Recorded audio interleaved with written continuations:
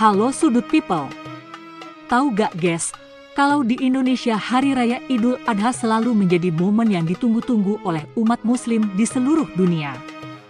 Di Indonesia, tradisi menyembelih hewan kurban selalu menarik perhatian, terutama ketika sapi-sapi kurban berukuran raksasa dengan harga fantastis turut meramaikan perayaan. Ada beberapa sapi monster yang berhasil mencuri perhatian karena bobot dan harganya yang mencengangkan. Berikut deretan sapi terbesar dan termahal yang dijadikan kurban di Indonesia yang telah dirangkum oleh tim sudut. Tapi sebelum lanjut, buat kalian yang belum bergabung di channel YouTube kita, yuk tekan tombol subscribe-nya dulu, subscribe itu gratis loh guys. Dan jangan lupa tekan lonceng notifikasi agar kalian tidak ketinggalan video terbaru dari kami. Selamat menonton!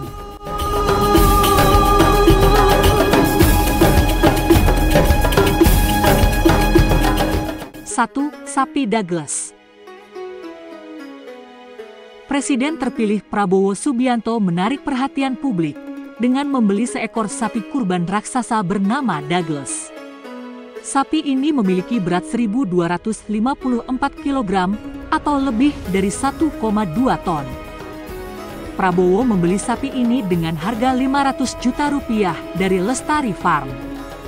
Sapi Douglas tidak hanya mengesankan dari segi bobot, tetapi juga dari segi prestasi. Douglas memenangkan juara pertama dalam kategori sapi kelas Mega Bintang pada kontes sapi APSI Jakarta pada April 2024.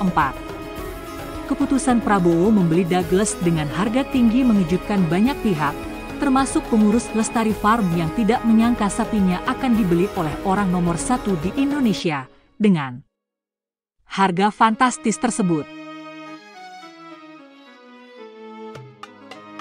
2. Sapi Joker Tidak kalah menghebohkan, sapi bernama Joker juga menjadi sorotan. Sapi ini dibeli oleh Hidayat Batubara dari peternakan tim 76 Harimau Sumatera. Dalam kontes sapi APSI Jakarta 2024, Joker dibeli dengan harga 666 juta rupiah, lebih mahal 16 juta rupiah dari Douglas. Joker memiliki berat 1, 291 kg, nyaris 1,3 ton, dan memperoleh juara kedua dalam kategori sapi kelas Mega Bintang, mengalahkan Douglas. 3. Sapi Rossi sapi jenis simental bernama Rossi milik Haji Bambang dari Garut, Jawa Barat, juga mencuri perhatian.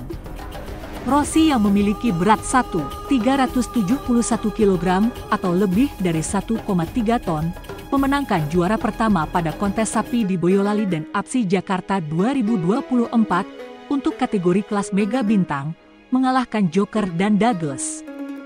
Rossi, yang sempat ditawar 300 juta rupiah pada tahun 2023, kini ditawarkan dengan harga sekitar 800 juta rupiah oleh pemiliknya. Rossi terus menunjukkan prestasi gemilang di berbagai kontes, membuat harga tawarnya terus melonjak. 4. Hantu Laut Sapi berwarna coklat kemerahan bernama hantu laut ini berasal dari peternakan kandang pedalaman harimau Sumatera juga menjadi pusat perhatian.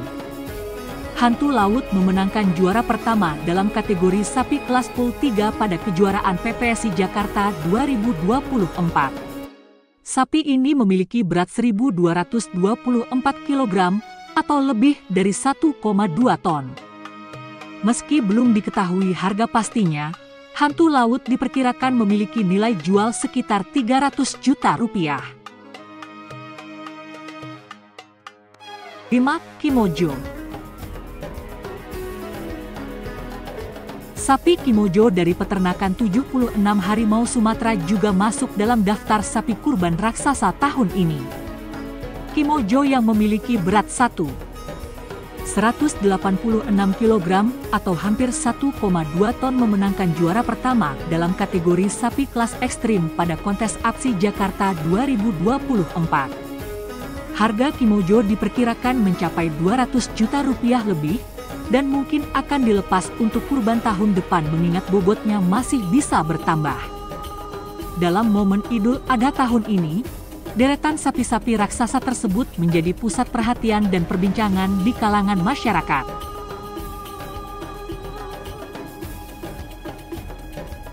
Enam, sapi cipluk.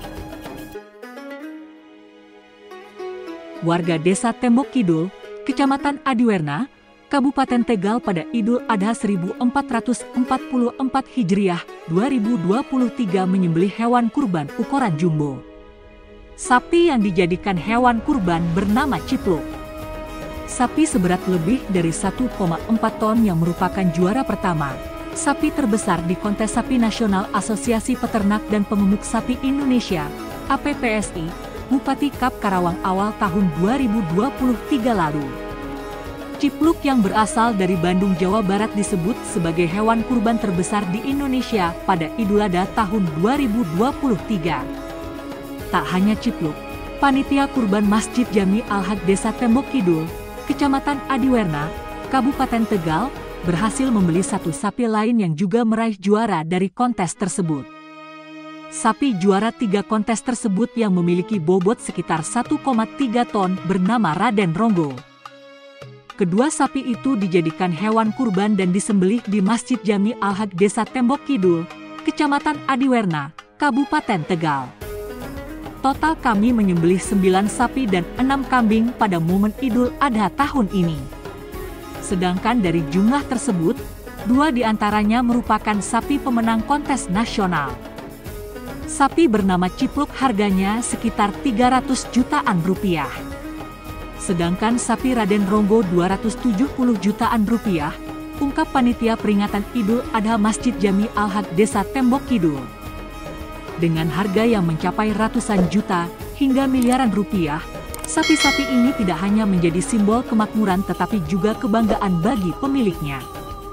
Itulah deretan hewan kurban terbesar di Indonesia, kita tunggu siapa lagi yang akan menjadi pemilik sapi kurban raksasa berikutnya pada Idul Adha tahun depan. Salam hangat dari Mimin, terima kasih.